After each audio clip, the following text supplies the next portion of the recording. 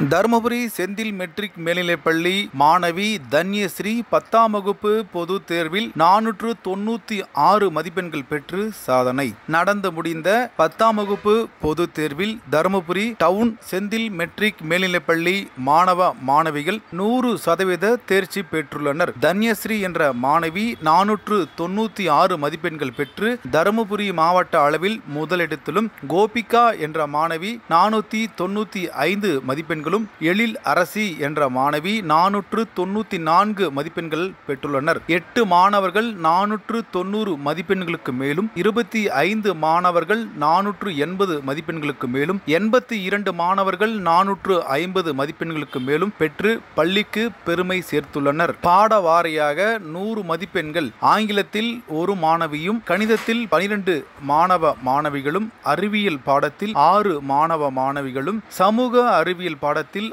ஆறு மாணவ மாணவிகளும் நூறு மதிப்பெண்களை பெற்றுள்ளனர். தேர்ச்சி பெற்ற அனைத்து மாணவ மாணவிகளை செந்தில் கல்வி குழும தலைவர் செந்தில் சி. கந்தசாமி அவர்களும் துணைத் தலைவர் திருமதி மணிமேகலை அவர்களும் செந்தில் கல்வி குழுமங்களின் செயலாளர் திரு கே. தனசேகரன் அவர்களும் செந்தில் மெட்ரிக் பள்ளி டவுன் திரு சி. சக்திவேல் அவர்களும் முதல்வர் வள்ளியம்மாள் நிர்வாக முதல்வர் ரஃபிக் அகமத் துணை முதல்வர் கவிதா உள்ளிட்டோர் மாணவ மாணவியரை வாழ்த்தினர்.